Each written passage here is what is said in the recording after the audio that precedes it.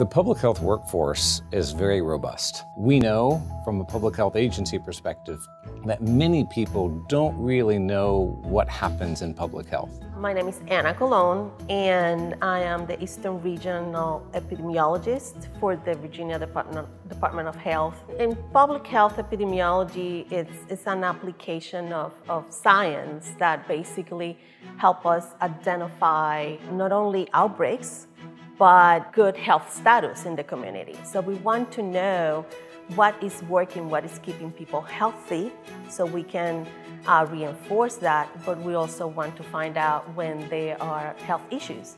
Part of the science of epidemiology is to collect data. Um, the data that we gather really help us form that picture, kind of uh, put that puzzle together, then to have the answers as to how is this issue happening.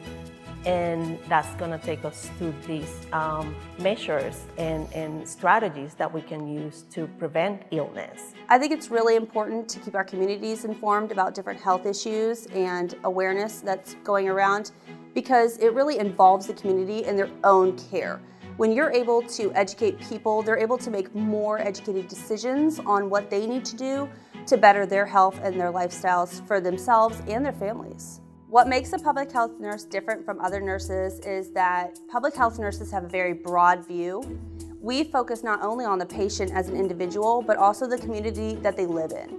So when public health nurses are looking at the environment, we're focused on things like environmental factors that can impact your health. We're focused on the barriers to care. We're really focusing in on not only contagious diseases, but also chronic diseases that occur in the community around us and really looking at those specific discriminants of health that keep people out of care and not living their healthiest life.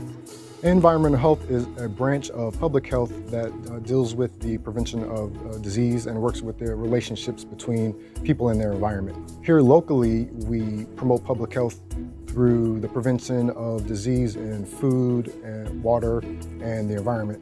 We work with some other agencies in also protecting the environment. Emergency preparedness staff work hard by developing and coordinating emergency plans with community partners. We also do a lot of training and exercising uh, that helps our staff prepare. They learn valuable knowledge and skills that will help them in a real event to protect the public health. Even though sometimes emergencies are rare and don't happen frequently, it's important that our public knows what to do to keep themselves safe in an emergency, and also our public health staff knows how to protect our public. With the public education that we do, we frequently go out to health fairs, we go out with our community partners, and we share that information. We also do a lot of social media posts, our websites, and every opportunity we have to share emergency preparedness information with the public. A lot of the public messaging that um, our communities receive, there is a science of epidemiology behind it.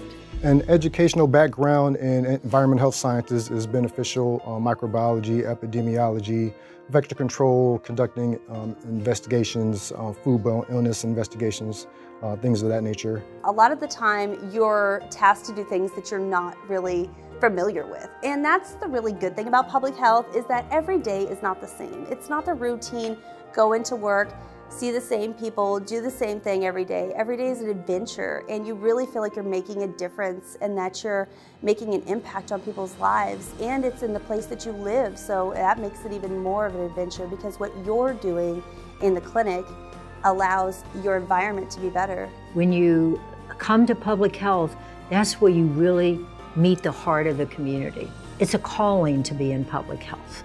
It's, it's not like a, another regular job. It's an avocation more than, than a job. I would really encourage you all to get on our website, look for job opportunities in your area. If you really want to get into your community and make a difference, come join us. You can go to iampublichealthva.org.